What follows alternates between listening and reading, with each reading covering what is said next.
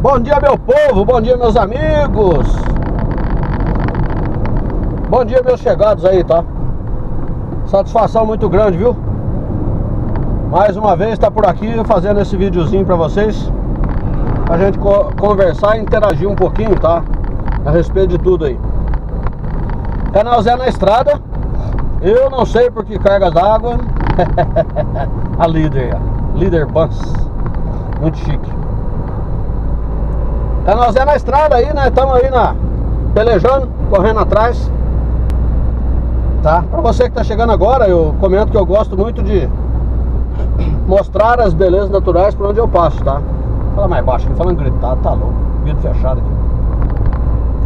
Eu gosto muito de mostrar as belezas naturais por onde eu passo e ao mesmo tempo eu gosto muito de interagir a respeito de segurança no trânsito, direção defensiva, segurança em todos os sentidos. Ok, gente? Pessoal, aprecie com moderação essa beleza, essa natureza, hein? Tá? Eu gosto muito de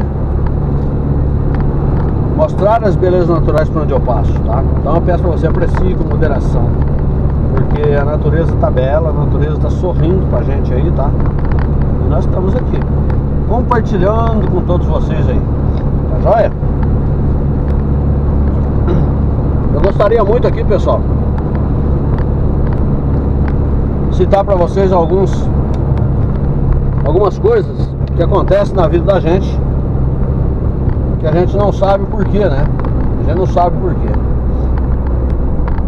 Tudo que acontece na nossa vida tem a mão de Deus, tá? Tudo tem a mão de Deus. Basta que a gente consiga analisar, consiga entender o que, que é que está acontecendo. Tá joia? Às vezes a gente revolta com alguma coisa que acontece, mas na realidade nós temos que compreender, sabe? Eu tô falando isso aqui porque eu tô lembrando no meu pai. Meu pai. Meu pai, senhor Joaquim Domingos, dia 9 agora de agosto, né? Acho não sei que dia que é, sexta-feira, quinta-feira, sei lá. Dia 9. Hoje é 6, terça. 7, 8, quarta e quinta, sexta-feira. Aí, ó, o motoqueiro comendo faixa aí, ó. Tá bom, gente? Sempre muita atenção, hein? É, sexta-feira agora, próxima, dia 9, né? Hoje. Hoje que eu tô gravando esse vídeo é terça-feira. Provavelmente seja quarta, tá, pessoal? Você tá assistindo. Mas dia 9, agora de agosto, eu tenho tristes recordações, tá? é um dia bastante. Não um dia triste, é porque a gente, a, gente é humano, sabe? A gente não quer aceitar as coisas, né? Mas dia 9 agora de agosto, né? Véspera já do dia dos pais aí praticamente. Completa dois anos de falecimento do meu pai, tá? Meu pai. E no mesmo dia, 9 de agosto, completa cinco anos que roubaram meu caminhão né? Cinco anos. Então é uma data que me, não me traz boas recordações. É uma data que me deixa triste, me deixa cabisbaixo, me deixa pensativo, né? Mas eu fico pensando, às vezes eu reclamo, putz, roubaram meu caminhão, ah meu Deus do céu, mas ao mesmo tempo eu lembro do meu pai, eu lembro do meu pai.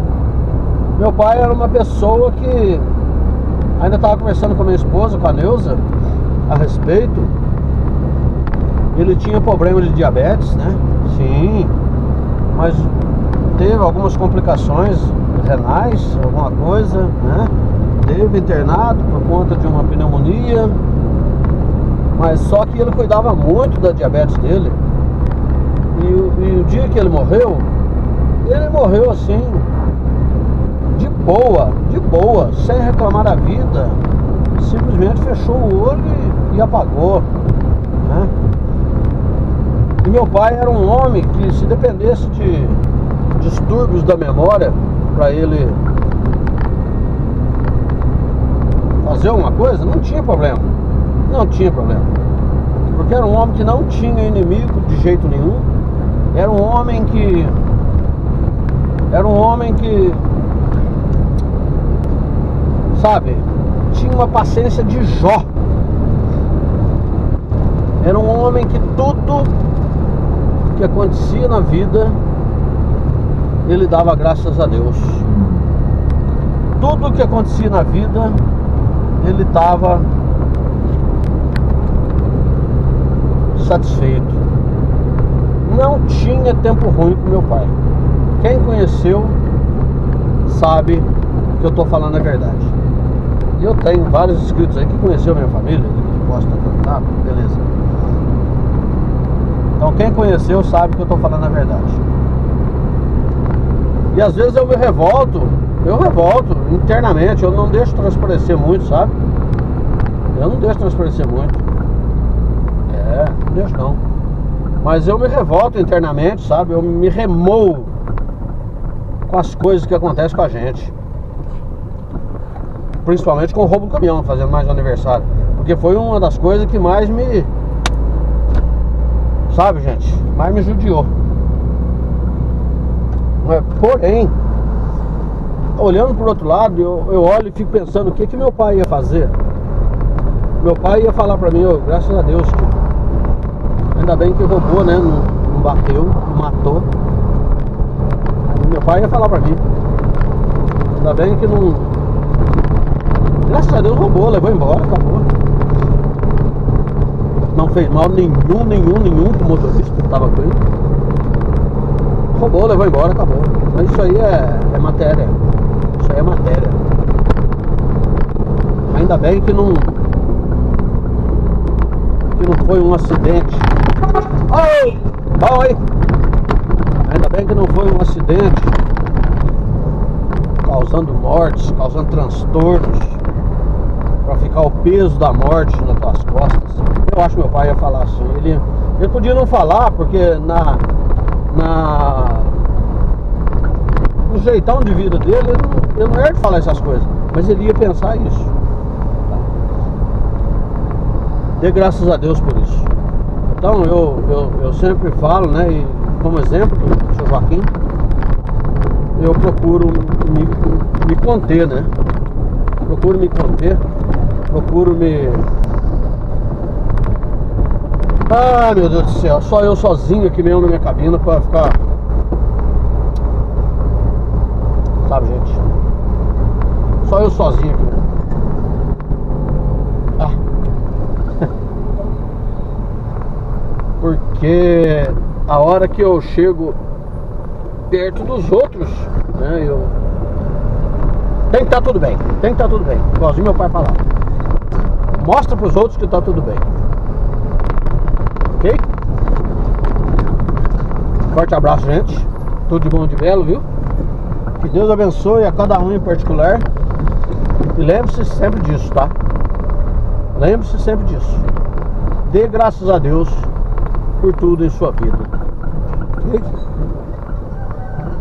É difícil? É, opa! É difícil pra caramba! Mas dê graças a Deus. Que Deus é contigo. Deus é comigo e Deus é conosco. Ok, pessoal? Um abração, tudo de bom. E olha, nada como um dia depois do outro, tá? Nada como um dia depois do outro. Se apegue e vai. Tem uma música, uma música, não sei se eu falo música católica, música gospel, música de igreja. Tem uma música todo mundo conhece. Todo mundo! Até quem não segura conhece.